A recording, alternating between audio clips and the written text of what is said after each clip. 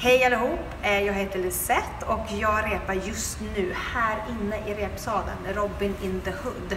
Och vi står här också mitt bland dekoren som håller på att byggas. Eh, den här föreställningen kommer att ha premiär den 11 mars på Västmanlandsteatern. Hjärtligt välkomna ska det vara.